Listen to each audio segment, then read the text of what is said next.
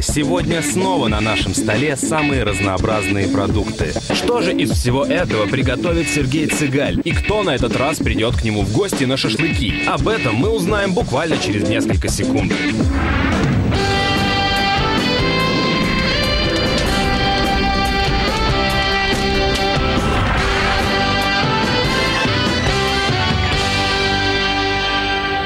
Кто не знает, что такое шашлычок?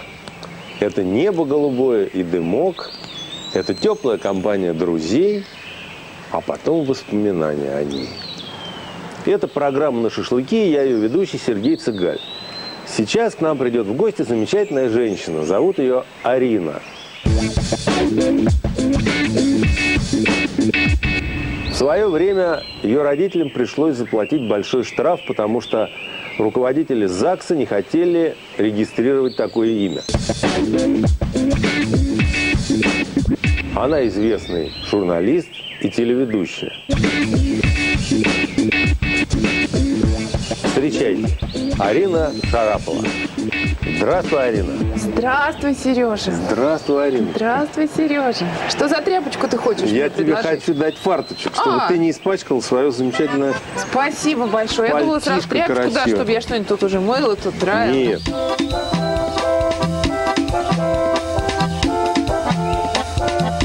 Я хотел начать с шашлыков.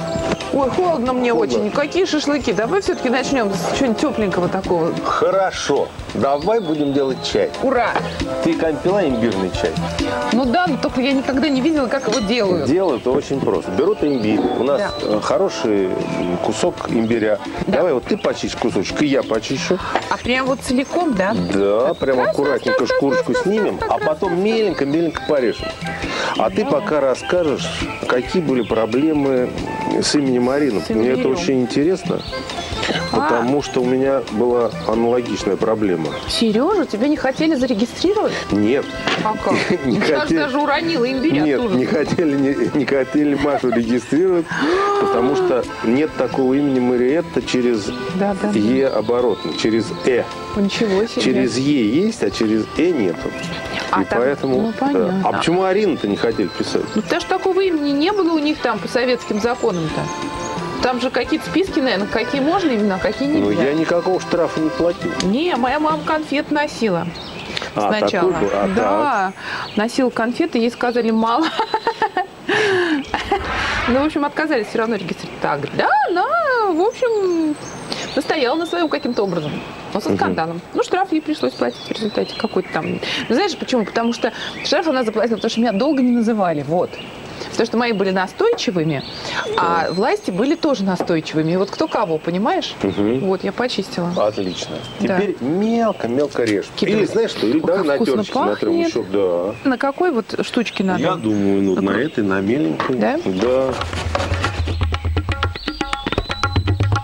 Лимона мы туда кидаем. Ага.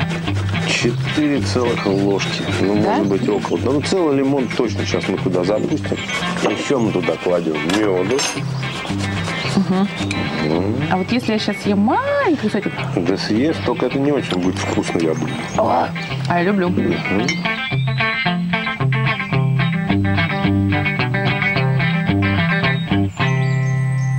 Вот этот весь имбирь мы пускаем туда. Так. И у нас уже все там, все, что нужно, мы уже все туда А закинули. зелененькая это травка? Зелененькая это мята. Да? Да, мы берем только что вскипевший и заливаем. Ух ты. И размешиваем. Мед размешиваем. Размешиваем, размешиваем. А Потому есть что... хочется очень. А на свежем воздухе, потому что... Любишь ты э, резать баранину? Ну вот резать баранину, вообще это мужское дело, между прочим, господин Цыган. Хорошо. А лук натирать А на лук терке? натирать это, между прочим, тоже же, же мужское же дело. Но Тоже я должна мужское. тебе с чем-то помочь. Я же не могу тебя бросить в беде и одного заставлять вот жарить все там, парить, резать. А, кстати, сейчас мультипликационный фильм поставили. Поют на сцене луковички. Вот так поют, ротик открывает и поет. Чапаевцы. «А-на-на». А в зале все сидят и плачут. Почему? Ну, потому что опера очень грустная. Ой, Да? Ой, вкусно. Вкусно. А ты знаешь, что имбирь давали рабам, чтобы они лучше размножались? Почему кошмар? Скажи, пожалуйста. Это очень мощный афродизиак. Действительно, есть целый ряд афродизиаков, и среди них имбирь, который является очень мощным. Размножителем. Да. Ну хорошо, если ты не хочешь резать мясо и правильно, давай ты вот эту луковку натрешь. Мы будем мариновать мясо. У нас баранина, сегодня жирная баранина, но Да. такая, ну, жирная по-хорошему, не по-плохому. Ариночка, ну смотри, ты можешь его мелко порезать или еще лучше натереть на терке, на Ой. крупный. Да, а скажи, пожалуйста, Да. у тебя запасная тушь для ресниц есть? Нет, ты знаешь, я в последнее время глаза не крашу. Ну, а мне, видимо, придется. Ну ладно. Последние несколько Вот, лет ну что не сделаешь ради искусства? А мы будем э, шашлык делать крупными кусками, чтобы он хорошо прожаренный был и сочный.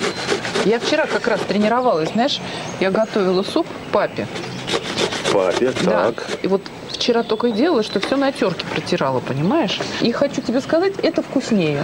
А скажи, Ариночка, а где ты была, э, в каких ты была странах? Потому что мы знаем, что папа дипломатом был и мотался по разным странам. Туда-сюда. И ты прожила долго на Дальнем Востоке, да? Нет, я, знаешь, я на Дальнем Востоке, это он оттуда родом, э, но на самом деле он с Арбата, но родился он на Дальнем Востоке. Так. Но это вот, это его такая история. А вообще, я выросла практически в Ираке, Багдаде. В Ираке? Да. Нифига Ну, как себе. выросла? Я там лет пять жила с родителями. Я маленькая была еще тогда. Я там, меня там в Так. пионеры принимали. В Ираке? Да. Ну, там же было большое советское посольство. Так. И наших тогда очень любили, потому что мы им весь Ирак отстроили. Э, Мы иногда заезжали в Сирию. Один раз, не, в Ирак нас не, не пустили. Женщинам туда нельзя было вообще ездить. А в Ираке можно там женщин нормально? Ну, да, там как-то более демократично было. Но в наших условиях все равно так как-то нас вывозили там на рынок, который назывался Сук. Ну, знаешь, ты же был на таких рынках, Сук. Я не был никогда в Ираке. Ну, неважно, это арабский рынок, они всегда Да. одинаковые. Ну, конечно, Маракеш. Да, и нас Да. э, пару раз э, одевали в абайи, вот в эти черные такие, чтобы, Так. в общем, не вызывать э, пристрастного отношения, потому что все-таки я блондинка маленькая. Мама, правда, темненькая у меня, ну ничего. Так. Вот. Ну, а это вот такие вот страны были действительно экзотические. А, еще в Дании же мы с ними тоже жили много лет. И я просто помню, что когда мы выходили из посольства, папа всегда из торгпредства, папа всегда записывался. Вышли туда-то.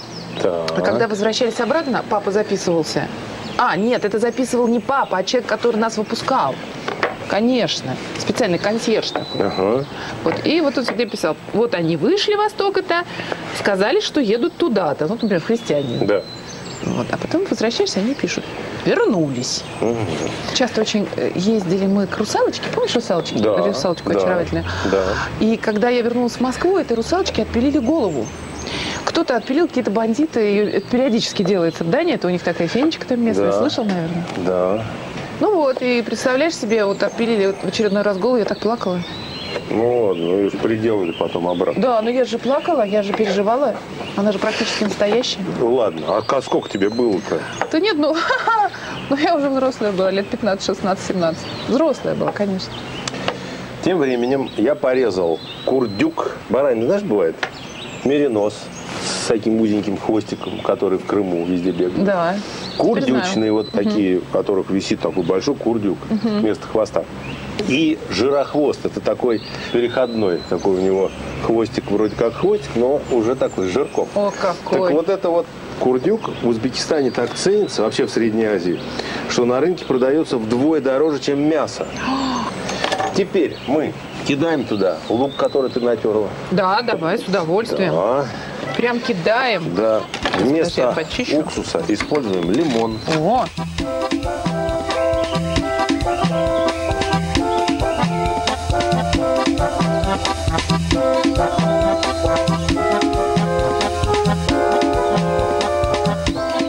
Давай посолим перед самым выкладыванием. Значит, у нас здесь курдюк, у нас здесь лук, у нас здесь что-то мы забыли. Вот чувствую, забыли мы что-то. ну, перец. Нет, ты клал. Мы забыли не перец, мы забыли водку. Водка очень сильно алкоголь размягчает мясо. Поэтому мы нальем немножко водки. А я за рулем. Так. все это дело выгорает, а остается только вкус. Имбирь – это корневище тропического пряного растения, которое вызывает некое легкое жжение на языке. Это вызвано тем, что э, внутри э, имбирь содержит природные химические соединения, которые обладают вот таким легким жгучим свойством. Как его выбирать? Он должен быть плотным на ощупь, упругим, отламываться вот такие шишечки должны с громким треском и быть, вот она достаточно громко отломилась, и быть сочными на разломе. Он обладает еще и очень приятным запахом, тонким, ненавязчивым, таким экзотическим некоторым образом. И э, я вот, например, в последнее время добавляю во все мясные блюда немножечко имбиря, что только улучшает вкус и делает его таким немножечко необычным и пикантным. Давай будем мариновать баклажан. Мы берем вот такую большую плошечку. Пожалуйста. Вот. Ложечку Ставим морожечку. сюда. Так. Берем баклажанчики. Давай возьмем. Вот ты такой. Давай. и Я вот такой. Например, Хорошо.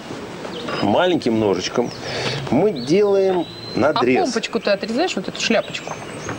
Шляпочку мы потом отрежем. Давай сначала мы только не режь. Вот так вот делай, вот так.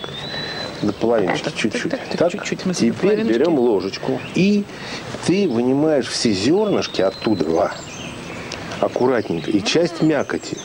Мы же баклажан делаем сегодня фаршированный.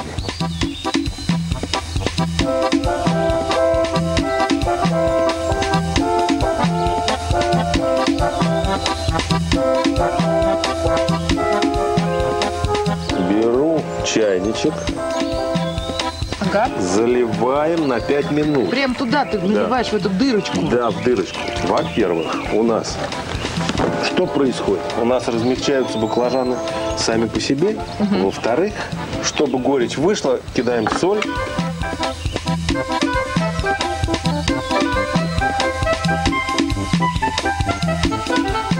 Помешаем, так вот так.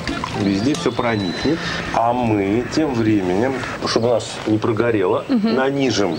Давай так сделаем. Я буду нанизывать, Да. А я а песни ты петь. тем временем петь песни, да. И если хочешь, а, порубить меленько. Там Они не сырые? Три яйца. Нет, они вкрутую Да, сварят. хорошо. А я буду нанизывать. И сейчас Чё-то солю в последний момент, потому что, когда солишь сразу, весь сок уходит. Сок уходит весь. А мы, Да. да, вот. Это соль морская, она такая мало, мало соленая, но дико полезная. Там йод, там что там только нет. Ну, Вот три мы- яйца, смотри, вот три яйца, вот три. Отлично, хватит.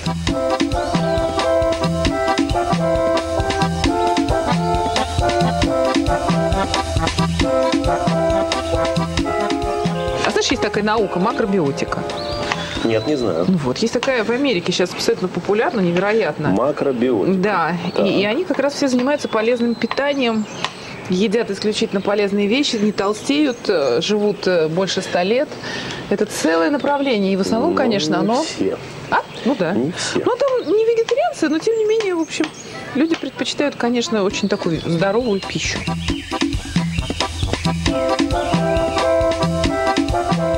Так, Арина, смотри. Это вот возьми большую плошечку, там мы будем все Ложечка. размешивать, да. Вот она, ложечка. И кидай туда эти яйца, например. Кидай туда яйца.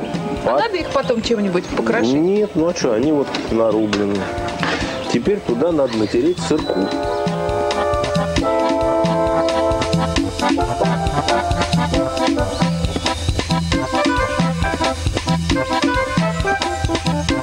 Скажи, вот это вот как? Вот, отлично, перемешивай. И еще туда сливочное масло.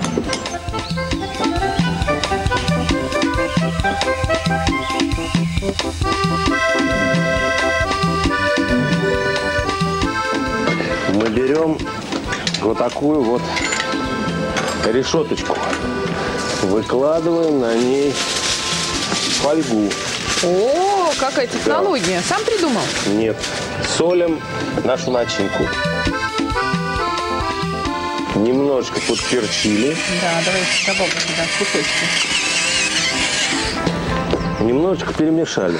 Ариночка, можешь Нашпиговывать? нашпиговывать? Да, с удовольствием. Вот. вот жизнь смотри. мечтала. Воду мы сейчас выльем. Да. Да. Оп. Из наших баклажан. Вон она наша какая стала. Водичку. Ну, поскольку мы в лесу. И раз. Раз.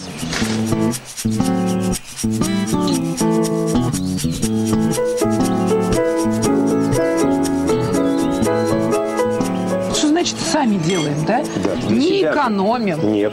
По-честному кладем Арин, для себя вот эту потрясающую всегда. начинку. А? Да. Представляешь, если бы мы были в ресторане в каком-то или в кафе, ведь не доложили бы. Конечно.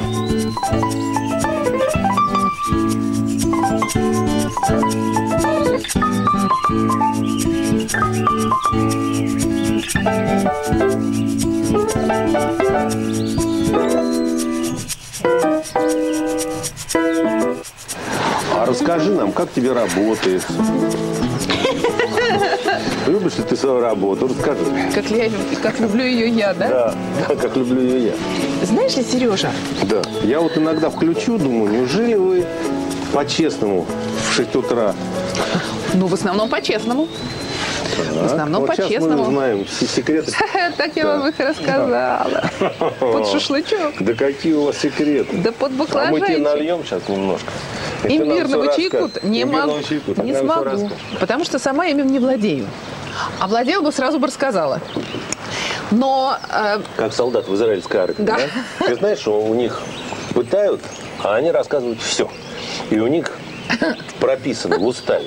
Говорить Солдат всё. израильской армии должен рассказать сразу все, что знает, только чтобы его не тронули. серьезно? Да. Вот это гуманное отношение. Потому что их мало, маленькое государство, они людей ценят. Как а в некоторых других странах, я знаю, он будет до последнего До стоять, но не последнего. скажет. Не скажу. Не скажет. Нас много поэтому. Какие у него понимаешь? портянки не расскажет, ничего не расскажет. Сейчас помашу немножко. Ранним утром вставать трудно. В 5 утра у нас эфир. Вот чтобы как-то чувствовать себя приподнятом настроении и с незаспанными глазами, приходится вставать где-то в районе часа ночи. А ложишься ты при этом в 12 часов ночи. То есть я сплю обычно где-то час. Вообще не спишь практически. Нет. Вообще, когда человек много спит, он хуже выглядит. А я вот сегодня еще слушала Маргариту Куралеву, которая сказала, помнишь, такая есть девушка, которая занимается диетой, врач, диетолог. Вот Так. она сказала, спать обязательно надо с 12 до 3. С 12 Ночи. ночи, да, с 24 до, До 3 трёх. ночи. Да. В этот момент бурно происходит какой-то гормон вырабатывается, типа гормон роста, что ли. Так. И в этот момент переваривается вот все то, что ты сейчас приготовишь. И в этот момент чи- чувствует себя просто на грани блаженства. То есть самое главное успеть поспать с 12 до 3, а остальное время уже не важно. И я тебя уверяю, если ты спишь с 12 до 3, не растолстеешь.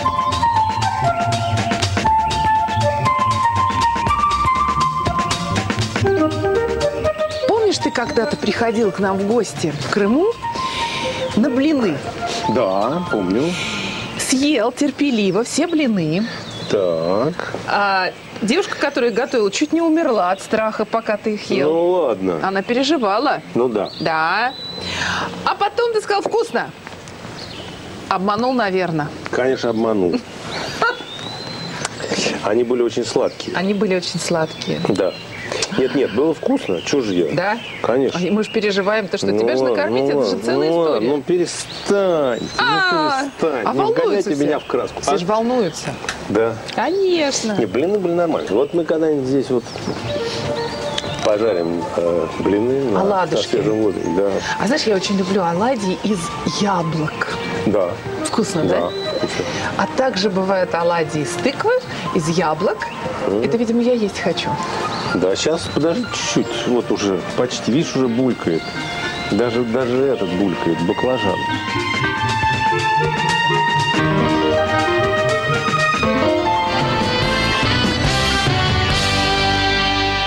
Так, Арина, мы должны сделать Чудо. а, мацони. У нас шашлыки, А резать мне чесночок. Зачем? чесночок. Чесночок. Видишь, я же знаю, что Да. нужен чесночок. Я прям вот Надо его уже твои мысли да. читаю.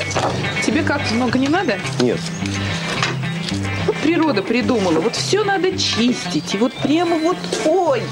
А я что-то, знаешь, не дружу. с чем? С с этим процессом. Картошку, например, я люблю, когда чистят мои домашние. Так. Сама я стараюсь этого не делать. Приготовить с удовольствием, а вот чтобы вот это все чистить, во. А картошку ты ешь? Нет. Я делаю для других. Понятно. И вот другие пусть ее и чистят. Мы возьмем вот так лучку. Немножечко, Ты немножечко. какой хитренький-то. И тоненько-тоненько его порежем. Для красоты, Да, да, для плезиру. да. Ну, как ты грамотно режешь, а? Вот так бы всю жизнь бы и наблюдала бы, как режут. Вот так, раз, раз, раз, раз, красота. Раз, раз, раз, раз. Можно немножечко зеленушкой посыпать, да? Так. Я вот, например, люблю кинзочку. Вот она, кинзочка. Ты Я вот тоже, ой, я больше всего люблю кинзу. Ой, люблю. Раз, раз. Так вот быстренько.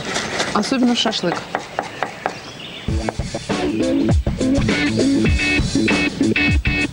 Шашлычок у нас готов. У нас Так, вот чесночок. остался чесночок.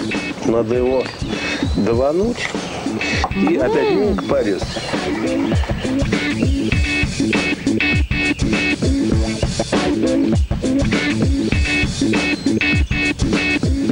Мацони. А хочешь туда красненького, тут же красиво было немножко. А, красненький перчик. А я снимаю баклажаны. Ну-ка, ну-ка. Ой, по-моему, да. Опять удача.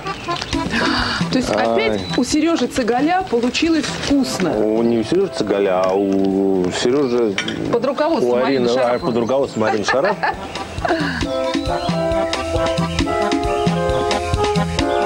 Красиво у нас получилось. Давай положим какую-нибудь веточку. Веточку сюда. положи, да. Раз так веточка.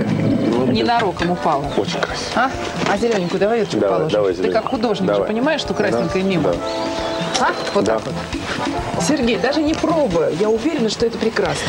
Давайте, Арина, а я попробую. Что мы наделали?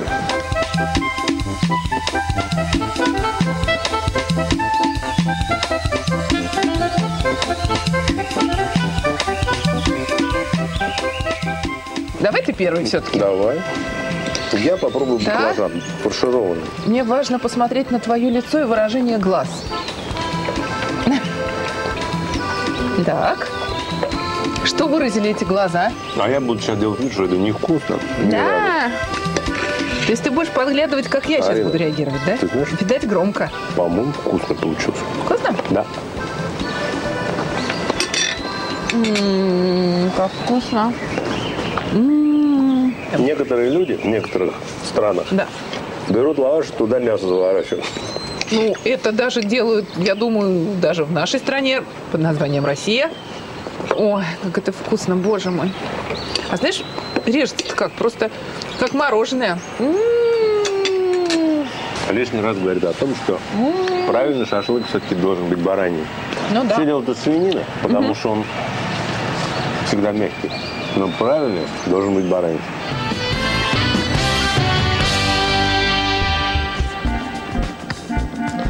Шашлык из баранины.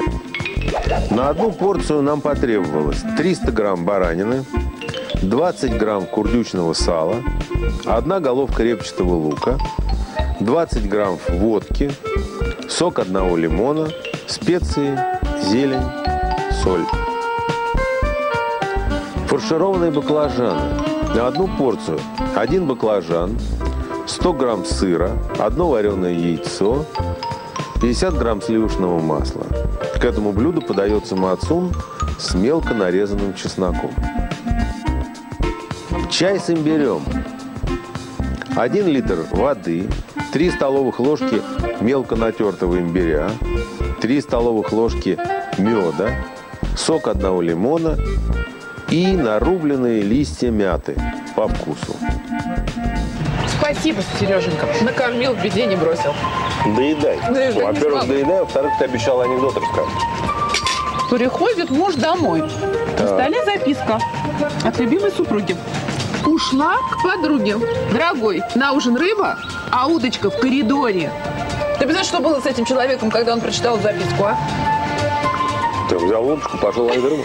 И пошел на ужин добывать рыбу. Спасибо тебе, Арина. Все у нас получилось. Да, это вкусно как и фантастически красиво. Я вообще, дорогие зрители, рекомендовала бы вам почаще смотреть программу с Сергеем Цыгалем.